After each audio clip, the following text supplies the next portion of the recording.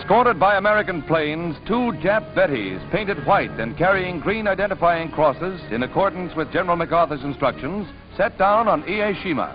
Here, just offshore from bloody Okinawa, Bataan number one, carrying part of the Japanese surrender delegation, was closely followed into the field by Bataan number two. This is the transfer point for Manila, where bitter tea awaits the Japs. Lieutenant General Kawabe, Vice Chief of the Nipponese General Staff, leads the surrender party.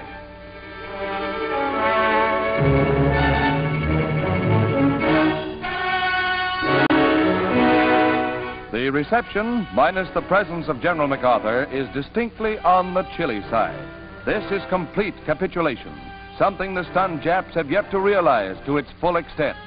Meanwhile, their armies throughout Asia and the Pacific are crumbling in surrender.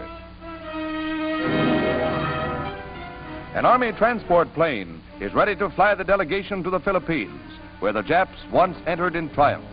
Signal Corps and Navy cameramen mark an historic passage as the members of the Japanese party take off.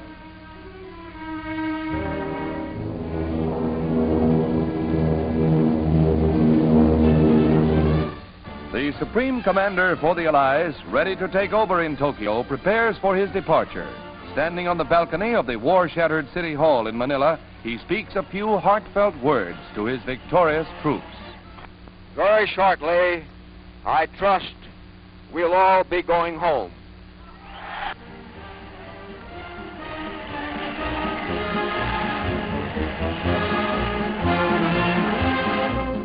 Farther north, HMS King George brings Admiral Rawlings, commander of the British Pacific Fleet, to a surrender day party aboard the USS Missouri, where the host is our own Admiral Bull Halsey.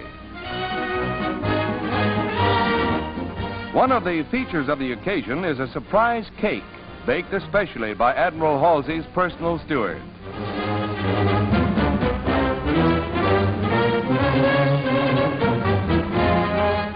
The design is one that appeals to the hard-hitting commander of the Third Fleet, and he attacks it with his usual forthright manner.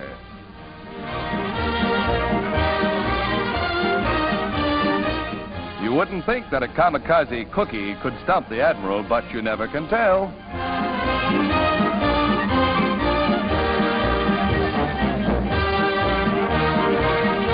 Well, as the Chinese say, one picture tells more than 10,000 words. Good appetite, Admiral. And even though Mother didn't bake it, that cake couldn't possibly be that bad, Skipper.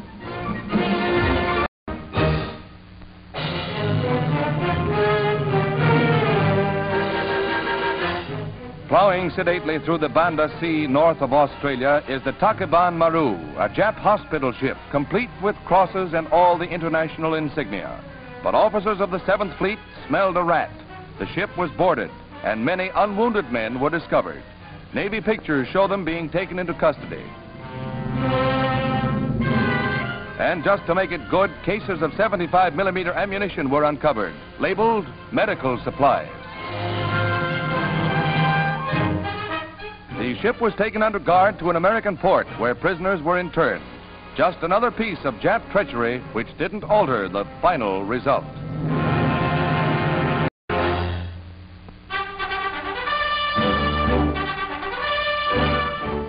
The second time in little more than a year, Washington Airport sees the arrival of General Charles de Gaulle, head of the French provisional government.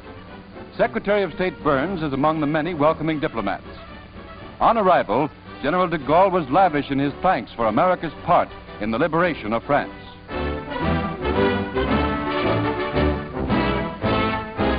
A guard of honor is drawn up at the White House as he's welcomed by President Truman, with whom he held a series of conferences on France's post-war economic future.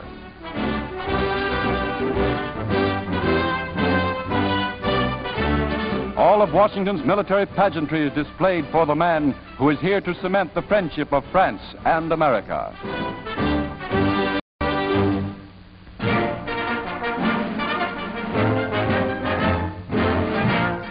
It's a day they've been waiting for. It's a day of days for these sailors, and for the best reason in the world. They're the first group to be released by the Navy under the point system. Mustering out pay comes first for these 105 men being processed at Long Beach, New York. And then An even more welcome piece of paper, that honorable discharge. Thanks, mates, for a job well done.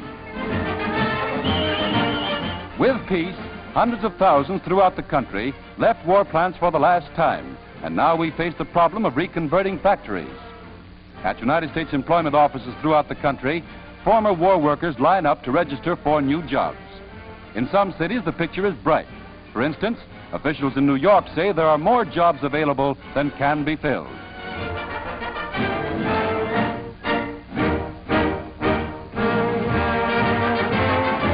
Civilian goods like ironers are already trickling from factories, and shortly washing machines and other luxuries we've missed will be pouring from the factories at 1942 prices. And soon you'll be able to give that jalopy a well-earned rest. With gas again plentiful, and with new cars and new tires on the way, America will be rolling with a pre-war flourish. Yes, cars, radios, vacuum cleaners, nylons, juicy steaks. It sounds almost like a dream.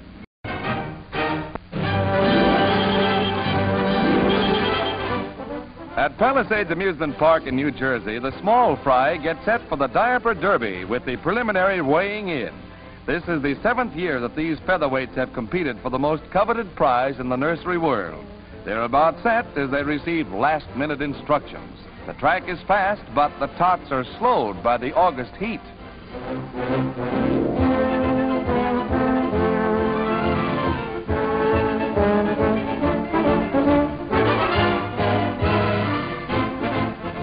Crowd eggs them on as the grueling 50-foot course weeds out any three-cornered sissy. The fondest backers are those in the mother's cheering section, but it proves too much for one of the entrants and his mom. And what do you know? Little Kathleen beat out all the he-men with her nursery crawl. Come on, be a sport, pal. As for the champ, well, she's going to see that there'll be some changes made. Yep, the queen wears the pants around here.